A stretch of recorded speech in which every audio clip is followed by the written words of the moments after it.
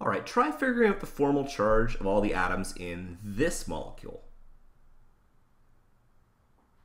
So press, press pause, try working on it yourself. Even though it might look a little weird to you, just, just try working it out. Press pause, try working it out, and then when you're ready, press play.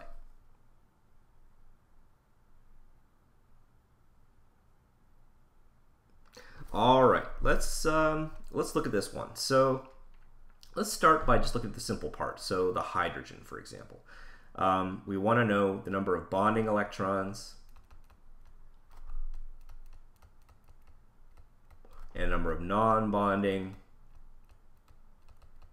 non-bonding E's, let's just call them. So bonding electrons for hydrogen, well, that's two, right? Two.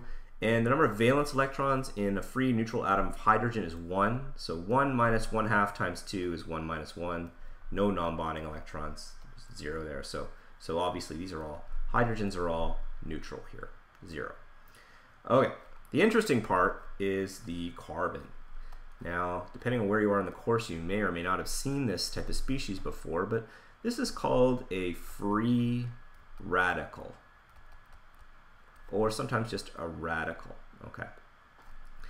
And um, it's actually not that complicated once you think about it. Um, you're going to do the same calculation for the bonding electrons um, that we did before. So we've actually got six bonding electrons, right? Same as before, you know, two times three. Now, non-bonding electrons, it looks a little weird because it's just a single electron, right? But it's not involved in a bond. Um, this single electron is a non-bonding electron. And it happens to be very reactive. And later on, you'll learn about reactivity of these, these types of species. But uh, right now, we're just concerned with figuring out what the formal charge of this carbon is. So that counts as a non-bonding electron. So let's use our formal charge formula to figure out the formal charge on the carbon. So carbon is four valence electrons, right? Four minus now we've got six bonding electrons, so one half times six is equal to three. Again, get the same answer if you just count the number of bonds.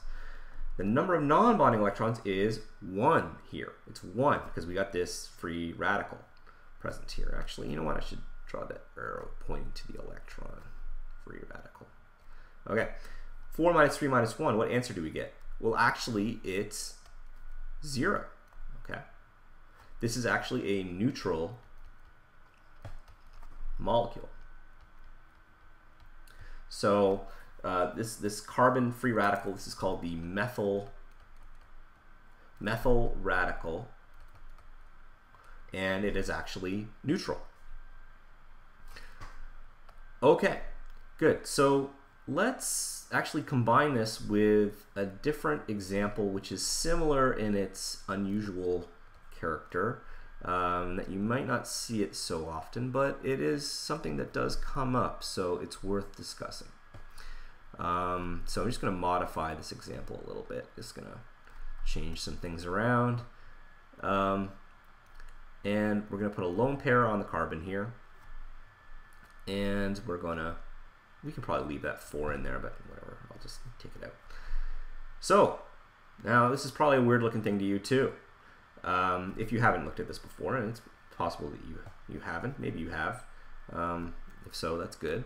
Um, now this has, let's just count the number of bonding electrons because we're basically going to follow the same pattern we did before. So how many bonding electrons do we have? Well, we've got four, right? We've got two bonds to hydrogen, CH bonds. We'll ignore the, the hydrogens should be, they're neutral. So we're going to ignore those, okay? um, by this point, I think it should be pretty clear that the hydrogens are going to be neutral if they're bonded just to one thing. The non-bonding electrons now, here we have two. So let's plug all these numbers into the formal charge formula. It's, it's really nothing scary. We've got four valence electrons around carbon, right? It's a normal carbon. So four minus one half times the number of bonding electrons. So that's one half times two uh, times four, which is gives us an answer of two. Um, alternatively, just count the number of bonds, it's two. Minus number of non-bonding electrons. Now here we have a lone pair. Okay, notice we've got a lone pair.